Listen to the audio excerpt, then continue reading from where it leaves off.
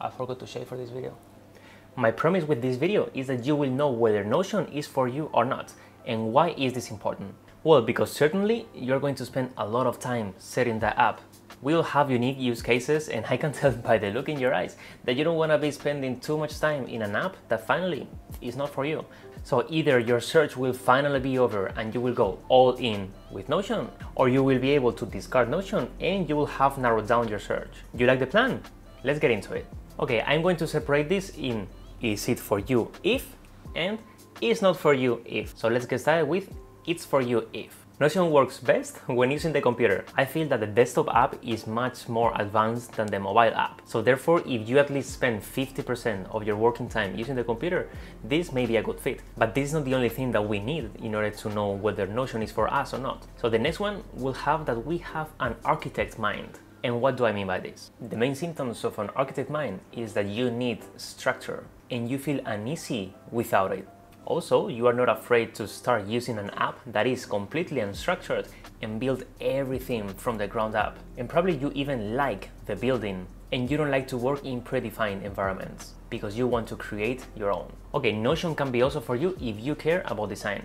If you normally spend a lot of time tweaking the apps that you are using so they look like you really want, probably you have this designer mindset. Because let me tell you, you will never ever find two Notion workspaces that look alike. Another symptom that you may have is that whenever you are using some default app, like Todoist or Things3, you feel that they are too structured and that this is limiting your creativity and your usage of the app because you need a little bit more and you feel like in a cage. Also, do you care about having multiple apps for different purposes? If you care, chances are that Notion can be for you because with Notion, I was able to reduce the number of apps that I was using from three to just one. So if your brain normally loses information because you don't remember where you save something or and normally you lose things, probably having everything within the same app is going to be very helpful. Also, are you willing to spend time upfront setting up your system? If this is not an impediment for you, then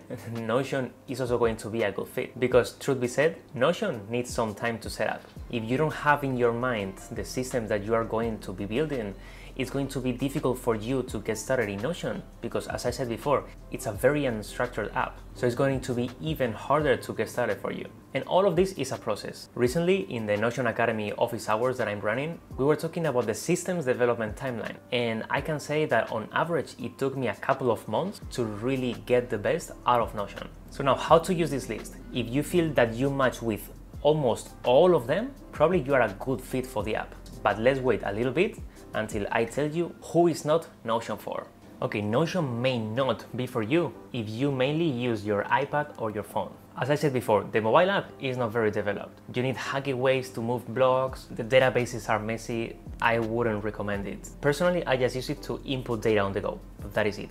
So if your main workhorse is a mobile device, I don't advise it. If the main task that you are going to do in Notion is related to knowledge working, also I don't recommend it. By knowledge workers, I mean researchers or people that are writing books, for example. Notion feels slow and it's difficult to link ideas seamlessly as compared to other apps such as Obsidian or Roam. So if that is your only use, I would use Obsidian or Roam. Also, Notion is not for you. If you want an app with low setup time, also, Notion is not the place to look. If whenever you are downloading a new app, you just want to get up and running, I would recommend you to use Todoist if you want to use a task manager because everything is already built or any other more dedicated apps. Because as I said, the setup time in Notion is quite long. Notion is also not for you if you have a gardener mind.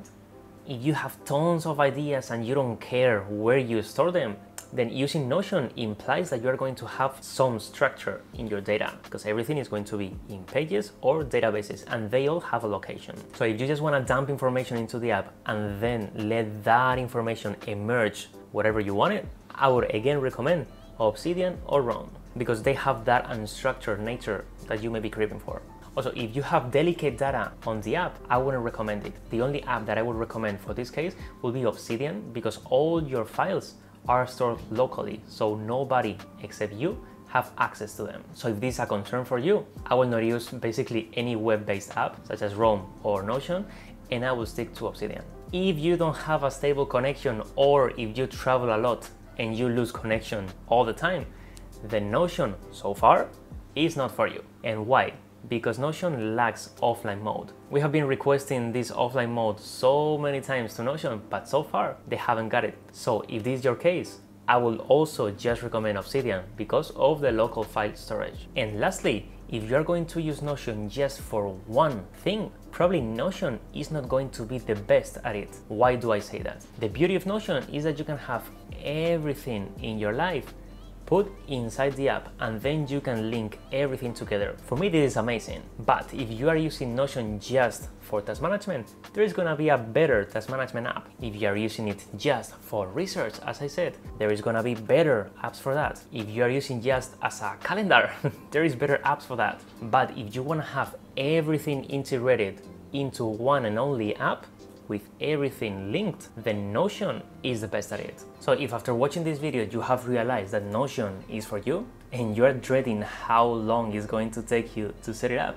you can take advantage of all the time that I have already spent, by now is two years, and shorten that steep learning curve. For that, I have built the Notion Academy, the productivity systems program where we use Notion to build all these live systems and save us time every week. I think on average I'm saving more than 5 hours, which is around 260 hours per year. And as I know that everybody use cases are different, within the Notion Academy we also run office hours, which are live sessions in which the students will be able to ask me questions about their unique use cases and I can guide them towards what to do, how to build, whatever they need.